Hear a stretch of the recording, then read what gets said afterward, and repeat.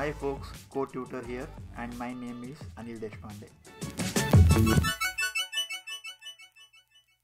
Welcome to the another video on Jetpack Compose and uh, we will continue to explore the Jetpack navigation. In the previous video, we have seen how we can basically pass the data from one screen to another screen this is the data is basically the string data that we were able to successfully pass from screen 1 to screen 2 if you are not sure how we did it you can just go back to the previous video and come back here. But at the end of the previous video i had mentioned that the data that we are passing which is a string data is pretty simple scenario. In reality you may actually have to send a data object itself. So in this video, I will basically show you how to do that. So broadly speaking, it basically is three steps. First, we will create a data class, a Kotlin data class and make it serializable. And then we have to have a, some kind of a logic to serialize and deserialize it and some kind of a framework to do that you can either use json based or you can even use parcelable the one that is very specific to android. I will show you json and then finally we will actually write the code to send the data and fetch the data or i would say modify the code that we have already written to basically deal with the data object. So let's get down to the business. So let me minimize this. Here let me create a data object. To create a data object i need to have a, a, class defined first. So let me create kotlin class call it as student and then let me put it under a package called data and then move it there. Say val name instead of string. Let me create a couple of more fields. Yeah and then we have to use a annotation called as serializable. Well to be able to do that we need to add certain dependencies. Let me first open the build.gradle kts and add the kotlin serialization. That is one part. And then here in the plugins i will have to add this part. And finally in the dependencies I will have to add the kotlinx serialization JSON. And now let me sync it now. Hopefully there is no problem.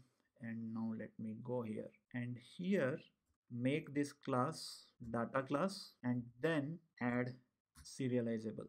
And now I can basically create objects which can be serialized and deserialized in the JSON format. Now, once this is done, let me open the screen one and here we are basically sending a string data but this is not good enough for us.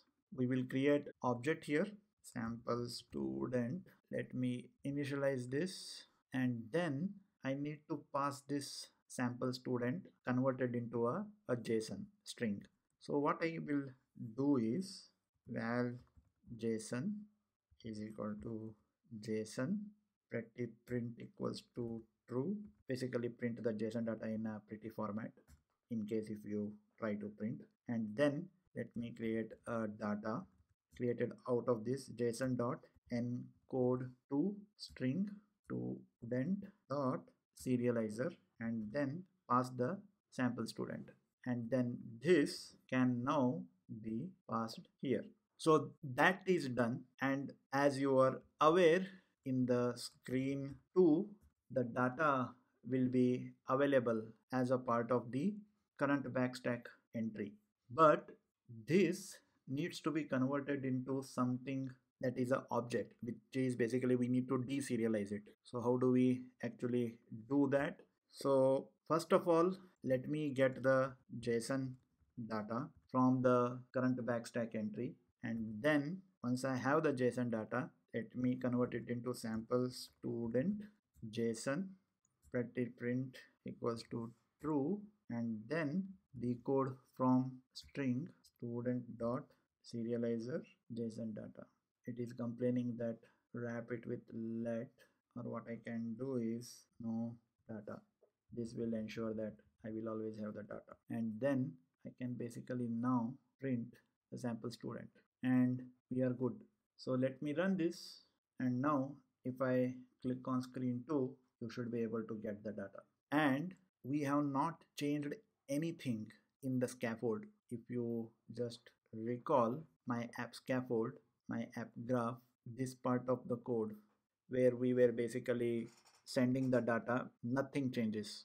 That is the advantage of uh, using the backstack entry itself to send the data because otherwise you would have been forced to write that complicated logic here and then change the signature of the screen too we talked about that in the previous video so this is about how you do data passing using JSON. That brings us to the end of this particular video. Don't forget to like, comment, share the video and subscribe to the channel. Take care. Bye.